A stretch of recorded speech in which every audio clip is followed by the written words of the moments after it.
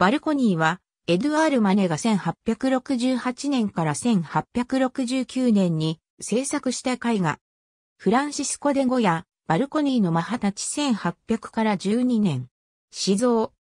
本作品の着想源は、マネがルーブル美術館のスペインギャラリーで見たフランシスコ・デ・ゴヤのバルコニーのマハタチであると思われる。本作品はこれを下敷きに現代のブルジョワの都市生活を描き出した作品である。マネのバルコニーにはマネの親しい人物をモデルにして前景に3人の人物が描かれており、背後の暗がりにもう一人の人物が描かれている。左側の女性のモデルは画家ベルト・モリゾである。ベルト・モリゾは、はじめジャンバティスト・カミーユコローに支持していたが、ルーブル美術館でマネと出会い、画家アンリ・ファンタ・ラトゥールの紹介で親しくなった。マネの絵画のモデルとしてたびたび登場する。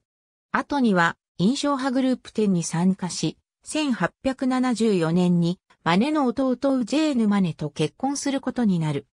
彼女はフランス窓の開け放たれたバルコニーの手すりに肘をかけて座っているところが描かれている。右側の女性のモデルはバイオリニストのファニー・クラウスである。彼女はマネの妻でピアニストだったシュザンヌ・マネの演奏仲間であった。彼女は手袋を取ろうとしているところが描かれている。二人の後ろに立つ男性のモデルはマネの友人の画家アントワーヌ・ニユメである。部屋の奥で水差しを持っている若い男性がかすかに描かれているが、これはレオン・コエラ・レーンホフである。レオンはマネがシュザンヌと結婚する前に生まれたマネの子である。可能性が高いと思われるが、マネは結婚後もレオンを認知しておらず、関係性には謎が残っている。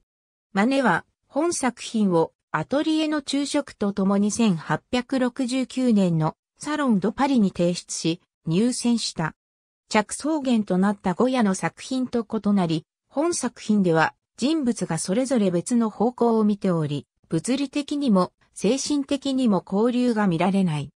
明快な物語性もない。このことが評価から厳しい非難を浴びる原因となった。サロンの初日に見に行ったベルト・モリゾは次のように書いている。私の最初の関心は M の部屋へ行くことでした。そこで当惑したような真似を見つけました。彼は自分で見に行く勇気がないので私に絵を見てきてくれないかと頼みました。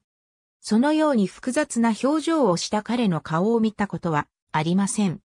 中略、バルコニーの中の私は、ミニキーというより、風変わりな女で、ファム・ファタールという呼び名が好奇心の強い人たちの間に広まっているようです。ベルト・モリゾ、姉エドマーテ書簡保守派の批評家、アルベール・ボルフは次のように批判した。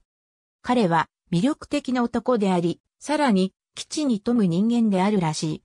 中略このように全てを兼ね備えた画家が、なぜバルコニーの緑色のブラインドの中にいるような無様な絵を描くようになるのだろうか。彼は家のペンキ塗り競争に参加するようなところにまで自分を貶めている。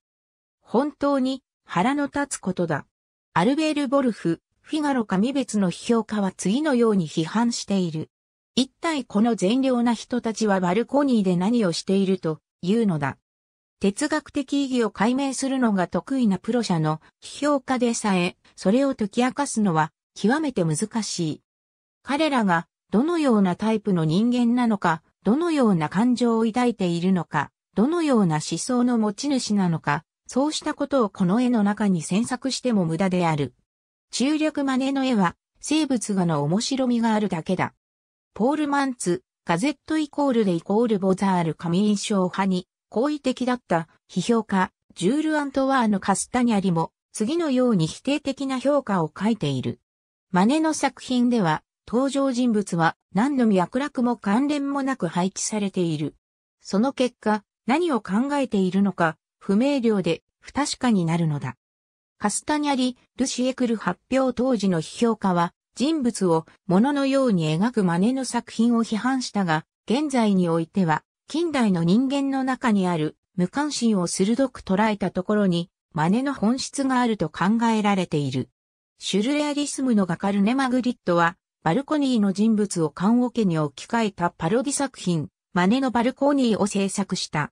これによって、バルコニーの登場人物が空虚な物質的存在であることを視覚的イメージで明らかにした。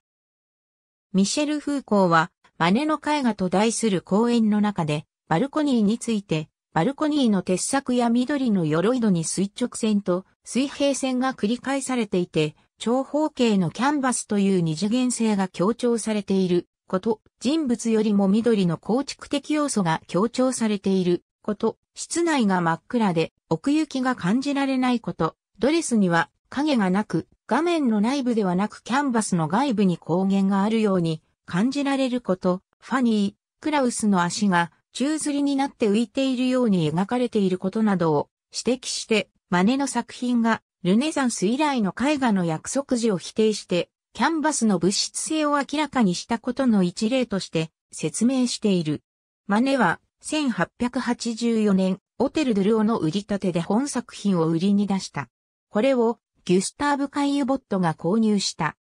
カイユボットは1894年に死去したが、自分のコレクションをフランス政府に移蔵し、リュクサンブール美術館後にルーブル美術館に収蔵するようにとの遺言を残していた。しかし、これが保守派の反対に遭い、結局、コレクションの一部のみが受け入れられることとなった。本作品は受け入れられた作品の一つであり、1896年以降、リュクサンブール美術館に展示された。1929年、ルーブル美術館に移管された。